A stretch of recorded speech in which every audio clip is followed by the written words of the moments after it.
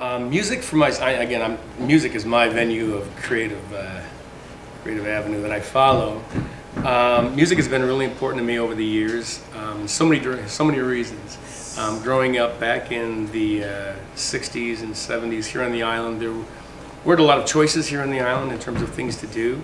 So music was uh, something really important for myself as an avenue and an outlet, um, and a way of meeting people and getting together. And it's how I was raised. Also, my family was very musical. We spent a lot of time singing, you know, forms of church at home, um, at every uh, at weddings and funerals. Um, for me, it was a self-esteem uh, builder also. And I think for the island itself, it's it fits in with now with the direction that the island has seemingly gone, it's become uh, artistically uh, driven.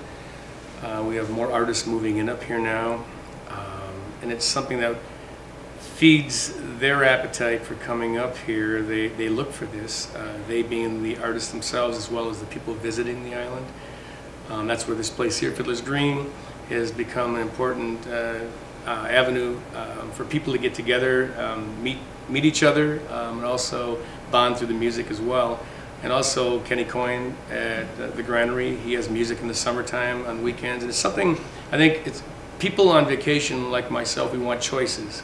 And, and uh, whether it's music or, or people giving lectures, and we've tried to have different avenues like those uh, avenues in terms of uh, for entertainment that people uh, look for when they go on vacation.